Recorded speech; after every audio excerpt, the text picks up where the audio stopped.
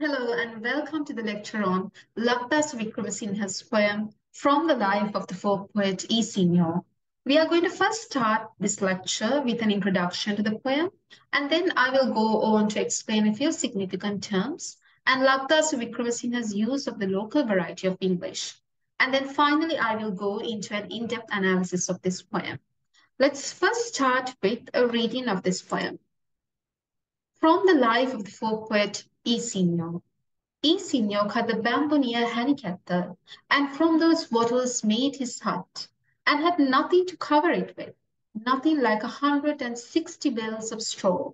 So he made his way to the Valawa at Iddamalgoda, and to the Manike said how poor he was, and how from his twenties he had made those lines of song, swearing before her all her fealties. So she said, Wait for the Yala harvest and take the straw. Ysinno said, Oh, the rains are coming near. My woman fretting, her kid will get all wet. Then the kind Manike said, Oh, then, you take what straw you need from the behind shed. And Ysinno being a folk poet, and his lines being not all dead, the benison of the Manike of Iddamalgoda lives even today. Let's now go on to the next slide I think we should first start with identifying the form of this poem. We see that this is a poem which takes the form of both a folk poem as well as a narrative poem because it actually depicts indications of both because folk poetry is a part of a society's folklore and oral tradition while narrative poetry means a form of poetry that is used to tell stories also, we can see that this is a poem which is based on the Sri Lankan rural context, and the characters are evidently identified as representing the feudal social formation of the rural context of Sri Lanka. This is also a poem which is in verse style because it captures the dramatized conversation between Ysinno and the Manike of the Valawa. Here the word Manike refers to the wife of a Sinhalese nobleman nobleman who owns a Valawa at Iddamalgoda. And the word Valawa means a mansion in Sinhala. So what seems to be interesting in this poem is that if you merely engage in a surface reading of it, we can say that the poem seems to be representing the hierarchical re relationship or the power dynamics between the Manike and Ysinno in a positive manner. This is because the Manike seems to be a very benevolent and generous mistress as she understands the troubles, difficulties, and challenges of Ysinno.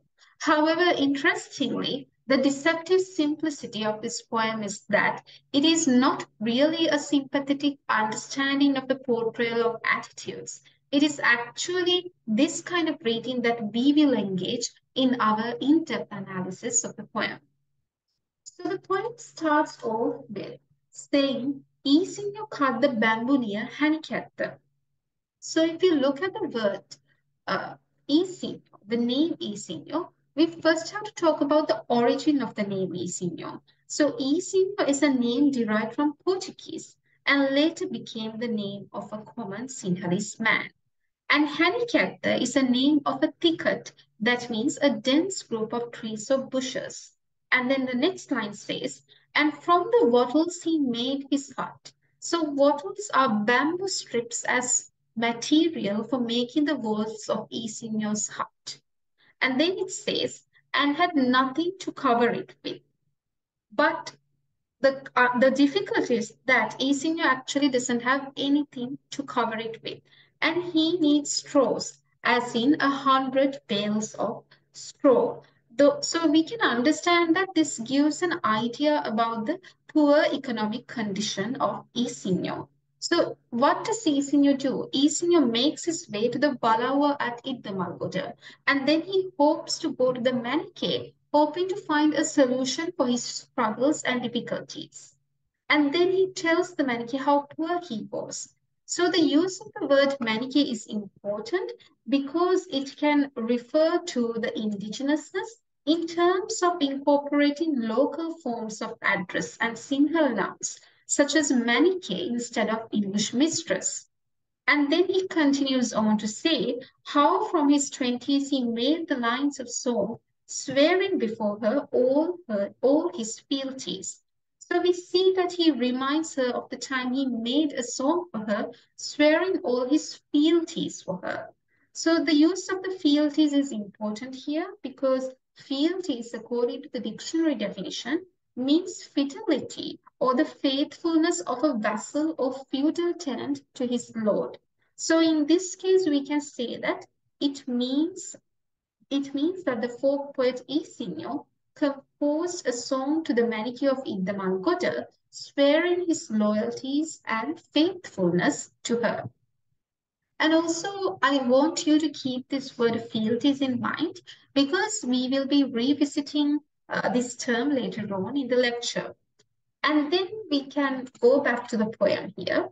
It says, So she said, wait for the Yala. So what is the word yalla? Yala actually refers to one of the monsoons which control the cultivation season of Sri Lanka, and the other season is Maha. So Yala is a season which actually lasts from May until the end of August. And we can also say that Yala also indicates the indigenousness of incorporating Sinhala terms or Sinhala adjectives instead of English ones. And then the poem says, so she said, Wait for the Yala harvest and take the straw.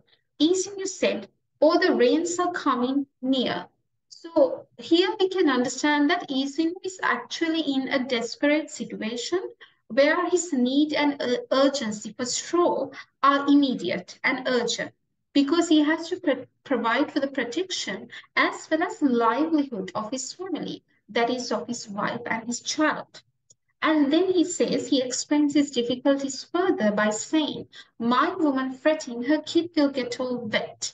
And then what does the Manike respond with?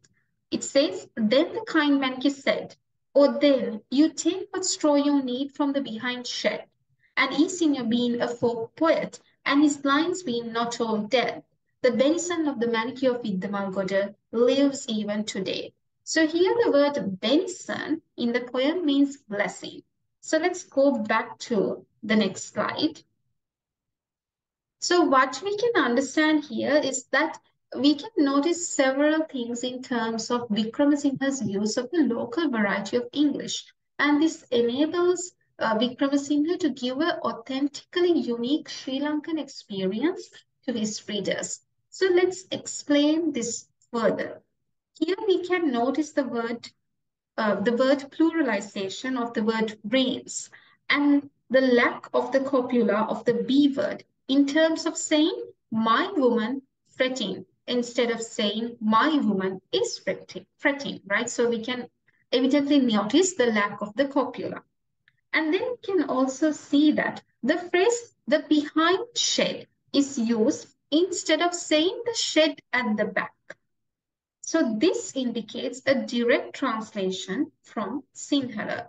So we can easily identify that these are all deliberate and intentional attempts made by Lakdasa Wikkramasinha to incorporate Sinhala terms and syntactic patterns to English. So we can see to what extent Wikkramasinha's poetry reflects an authentically unique Sri Lankan sensibility through recreating an intrinsically distinctive Sri Lankan experience. Now let's go on to the next slide. So if you remember, I said that in this lecture, we will be revisiting the term fealties. So actually, we will be revisiting the terms fealties as well as benison. Because what is important about these two terms, fealties and benison, is that they both have archaic connotations.